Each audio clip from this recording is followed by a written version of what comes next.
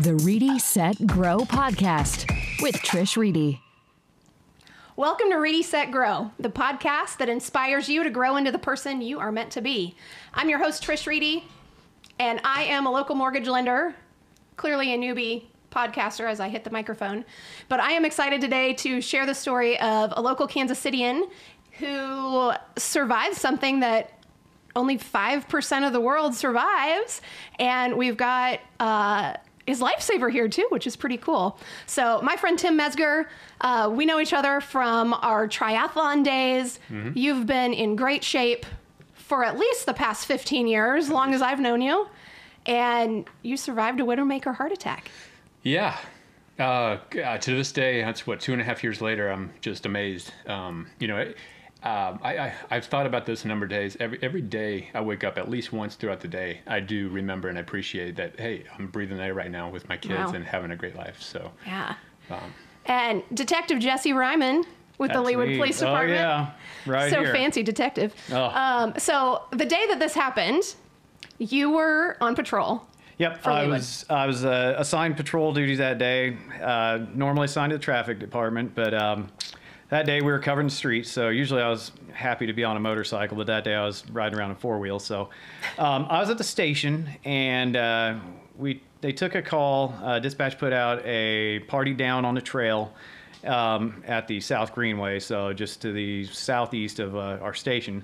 So um, one of the other officers, uh, Matt Schrader, he got there initially, and uh, he was approached, I think, by a, a lady that said she was a doctor, and led him down to Tim, and said that uh, she wasn't sure if he was breathing. Um, thought he had a pulse, and uh, Matt got there, looked at you, and said, "Oh no, because you were lacking color. You were in a Oh, wow. yeah." He was looking gray. So Matt checked for pulse, no pulse, and uh, immediately started doing CPR. So um, I believe another officer was kind of in the area, a detective, and he made his way into the area, but uh, I started responding from the station. Um, normally, with something like that, the fire station is Sure. just a few blocks away too. So you know, it, it's like those guys will be there. They do this stuff a little more make it often that than us. Yeah. Yeah. So um, so I got there and uh, found Matt. Matt was soaked in sweat. You were still in that totally gray ashen color, and uh, I was like, oh man. So um, I looked at Matt and uh, I was like, you ready to swap out? And he's, oh yeah. So um, I started pumping on your chest, and I can't remember if we swapped out at all during that time. We may have, may have. I couldn't couldn't tell you off the top of my head, but uh, um, I just remember pumping and pumping, and then finally, uh, I felt the rise and fall of your chest. And I'd done CPR plenty of times in the you know since Sure. 2006 when I started. Right. Um, had one time where it worked, but I mean that time I think it was because the guy was just they were pumping a guy full of drugs, and I never felt any change. But uh, I remember pumping on that guy until we got over to St. Joe. But with you, we're pumping and pumping. You're sitting there going, man, where's the fire guys at? You know, Right. and they've got more equipment than us. We're just a couple of chuckleheads over here pumping away.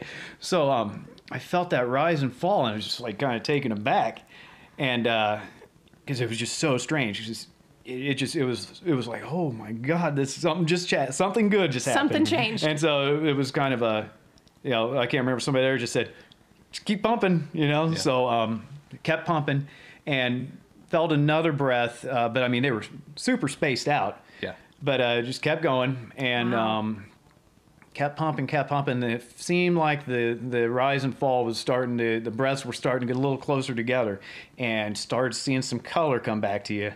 And uh, the fire guys got there, and I think that the Station Two fire guys that are over at 127th and Mission, I think that they were down further away. They were gone on a call or they were out on training, so we had to wait for somebody to respond from somewhere else, or they responded from somewhere else. So it was What's it feel like? Because, I mean, to really actually do CPR the right way, you have to push really yeah. hard. Oh yeah, and I was gonna, I was gonna say, um, a lot of the time when you're doing it, it's on somebody that's 60 plus, usually you know somebody that's in their 80s and they have tons of ailments and stuff like that, and you're didn't you know you're pumping and you can feel cartilage and ribs and all kinds of Wow. bad sounds, and you're always sitting there like.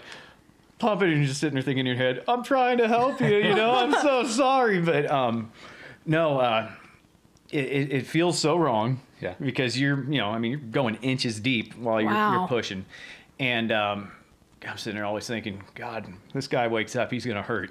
Yeah. but hopefully he wakes up. And I did. Right. Yeah, And I did- exactly. oh, I I bet, he dude. I'll bet it hurt like hell. Yeah. But um, I just I just remember uh, when when we got done and when fire got there and they start hooking everything up and um, and loaded you up and they were moving with a sense of urgency. And uh, I remember looking at Matt. I was like, I think this guy's gonna make it. You know, and you, a lot Yeah. of the time it's just like you Well, and so often you don't get to know. yeah, yeah. You don't, you know, I mean, and a lot of times, I mean, not knocking CPR, but a lot of times, like I said, you're doing it on somebody that's got Right. lots of lots of ailments. They're on their way out, but you know, you look at this guy. It's like he's young, he's clearly an athlete. He's got a lot of things going for him. And then, you know, uh, we went to the hospital. You know, right after that, you know, followed the ambulance there, or, or went just a few minutes later. And your wife got there pretty quick. I think Matt called her on the phone. One of us did, and uh, she was incredibly calm. Yeah. But I think it was probably just a total shock to her.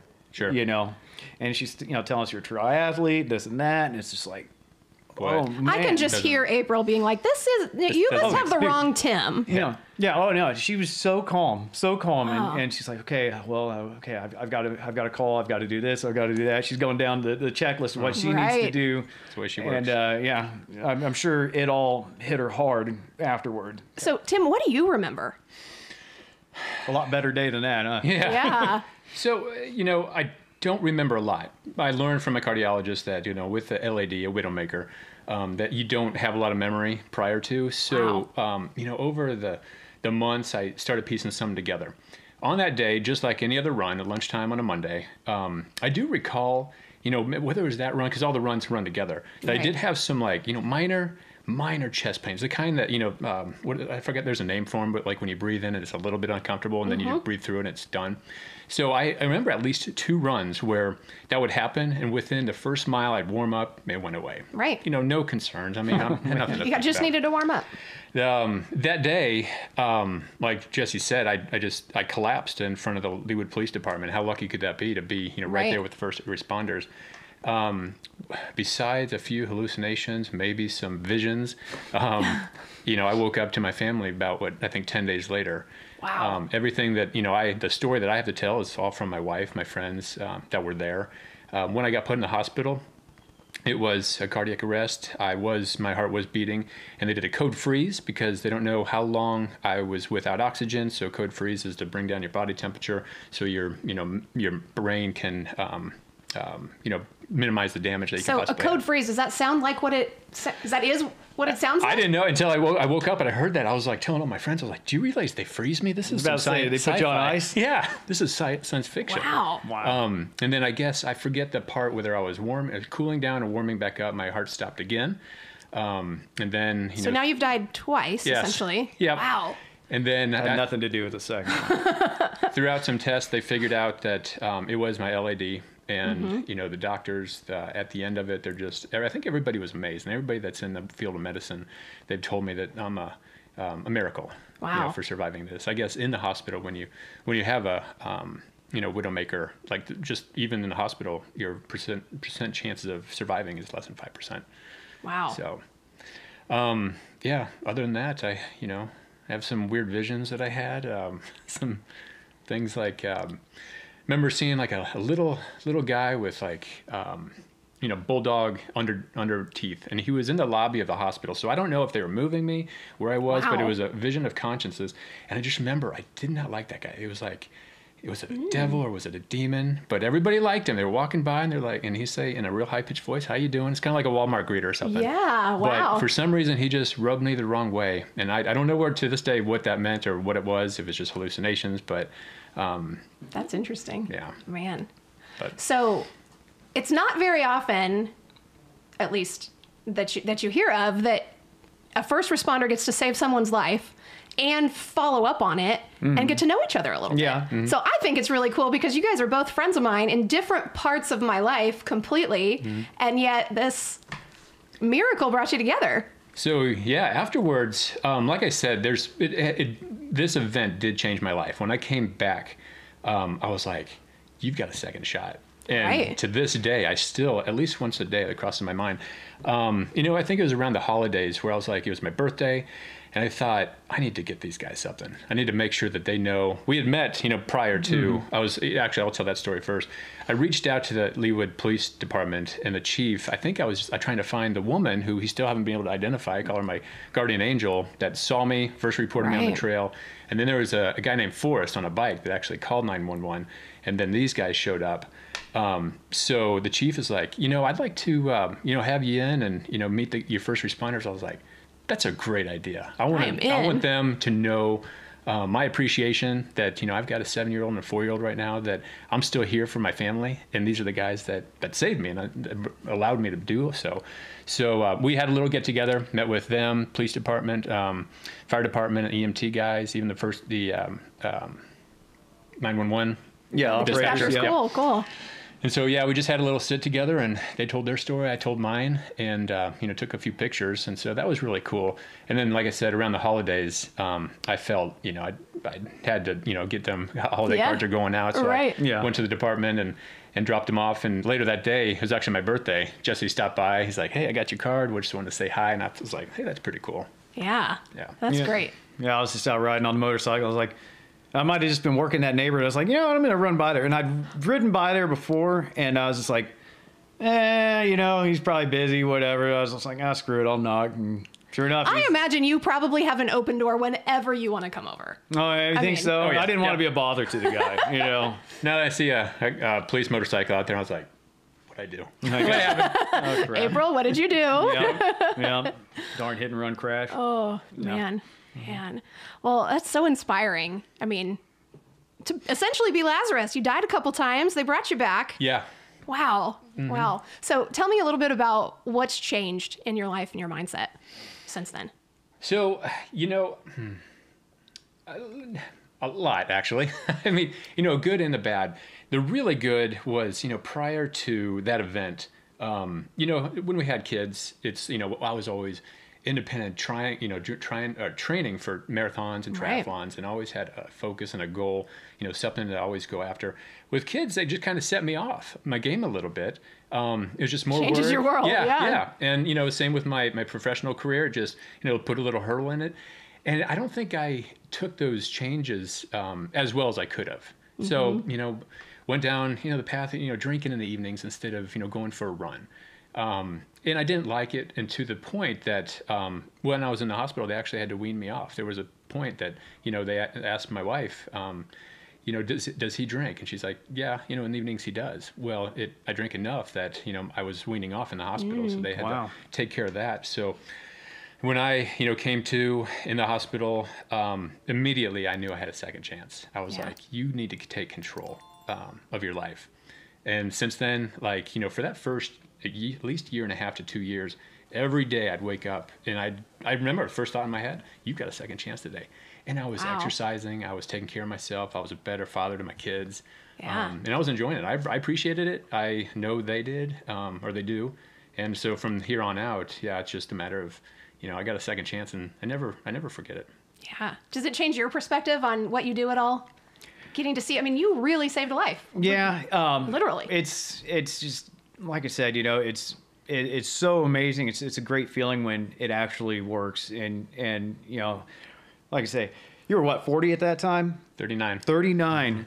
Yeah, me and Matt were looking at each other because I was like just like a couple years younger than you at the time. Like, dude, we're running on borrowed time, you know. Yeah. I mean, it, it just you look at it, and it's like this stuff can happen to anybody. I remember um, a couple months later, I pulled a guy over on a motor. I was on the motorcycle, and a gal, you know, my age driving, and I look in the back seat, and there's a guy, you know, in his late thirties, in the pa- in the back seat with a big heart pillow, and I'm like, looking at this situation, I'm like, this is different, but um, I asked him like, hey, what's what's uh, what's, he's like, I'm like, what's up with the situation here, and uh, He's like, oh, I had a heart attack. I was like, was it the Widowmaker? And he's like, how'd you know? And it's just, you know, Oh. you start finding out that this stuff hits guys Yeah. that are young. Yeah. That's way too young. We had Way a young. one of our um, retired detectives. I think he was probably in his late 40s, and he was the same way. Big time runner, big time athlete, great. You know, ate right, fit. Did he had things. one, and he lived through it. Wow. But yeah, I mean, it, it's, it, it hits and it hits quick. And the guy that I talked to uh, that had the pillow, he was he was like at a doctor's office, and he was described kind of the same way you was having a series of just kind of some chest pains Go and Went to the doctor to get it looked at and dropped dead there. wow. Yeah. Oh, it, it's just uh, it makes you appreciate life uh, uh, quite a bit because Yeah. it just you know. But you sit there at the same time gives you a little anxiety because I'll be sitting there watching TV at night with the wife and. Um, I'll think about you. It, it pops into my head all the time. I'm like, man, this this could happen at any time. And I try to take care of myself. Yeah. You know, I work out every day and all that. But I was like, God, it, no matter what. I asked my cardiologist, who I see once a year now, and I was like, "What? What could I have done different?" He said, "Nothing. It's like Man. it's like an aneurysm." He goes, "Strike of the lightning. It could happen to anybody. It's just it's just where the you know yeah I, I have a history of heart disease in the family, but my blood pressure and cholesterol has always been in check just because of my lifestyle and uh, you know the bad luck is it just all collected on that that LAD artery, which is one of the three main arteries in your heart."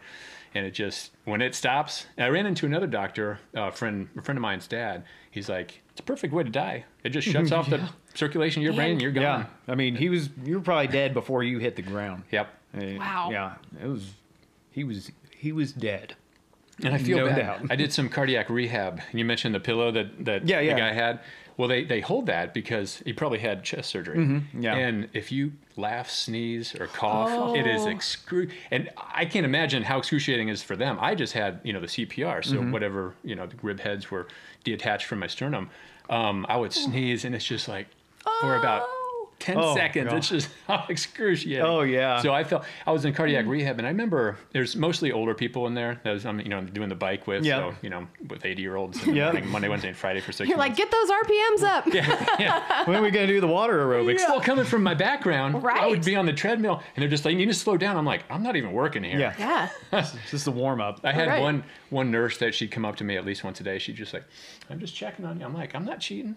I'm not cheating." But because I wanted, I was like in workout mode. I wanted to push it a little bit. And Right. they, they said, "Nope, you can't get your heart rate up." Wow. But there was a girl, um, a younger girl, that came in towards the end of my cardiac rehab, and I could tell she had the the, the surgery because I remember she was one of her first days. They're connecting her to the electrodes to work out, and she had a quick sneeze, and the next thing I know, tears are running down her face. I was like, "Oh, that's Man. rough." Man. Yeah. What an inspiring story. I think I think it's so cool. I'm so glad you guys are our friends and so glad you came to share the story and inspire everybody else.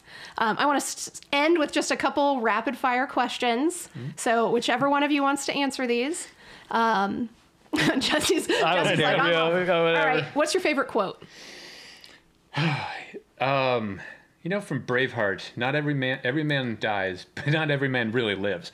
So, and then I was thinking on the drive over here, I was like, "Yeah, not not every man dies twice either." There you go. like, that's but now you get to really live. Yeah, Right. exactly. That's great. Um, all right, you're going out. You got to go catch the bad guy. You know it's going to be that kind of day. What song are you listening to to pump you up, Jesse? Oh my God. Anything 80s. Yeah. I'm, I'm, I'm solid 80s. And I'm not talking like hairband 80s. I'm talking like the Fixx or some B52s or something. yeah. yeah. Yeah. I'm, I'm taking you back. I'm love having a it. good time. So I I, couldn't it. I couldn't narrow it down to one Yeah. specific Okay, song from that fair. era. Maybe That's some fair. Huey Lewis. I don't know. and the news. Yeah. Things are going to get crazy. I love it. What accomplishment are you most proud of? Either one of you. For me, probably completing the Ironman. It's been years ago, but still, that's uh, Something they it's a never can take away. Yeah, that's right. Right? Mm-hmm. Yeah. We're in the club. Right there. I love it. I love it. Uh, okay. What two things are on your bucket list? What's on your bucket list that you haven't checked off yet? Man, it's going to take some time. Um, I'll probably have to be retired by the time I can just go on a nice motorcycle tour of the country. Oh, But, yeah. uh, That'd be great. that's one of them. I don't know what the other one's going to be.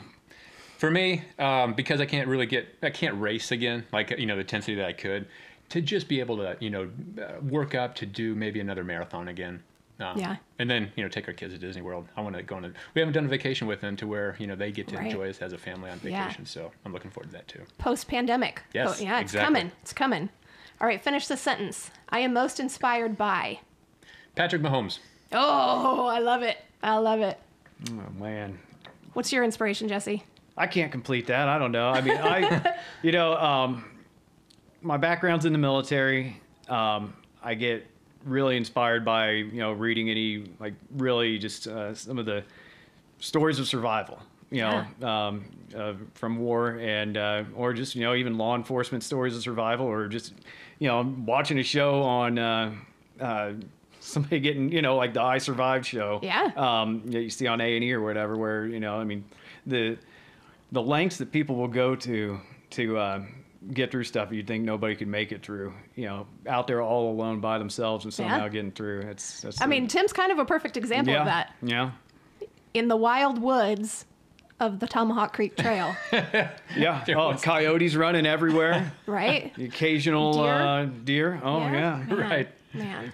Well, thank you guys so much for joining us. Yeah, thank you. Glad to do it. Thank you guys for tuning in to Reedy Set Grow. I'm Trish Reedy. So glad that you are here. And thank you again for sharing your story. Thank you for Glad having to do it. Thank you. The Reedy Set Grow podcast with Trish Reedy.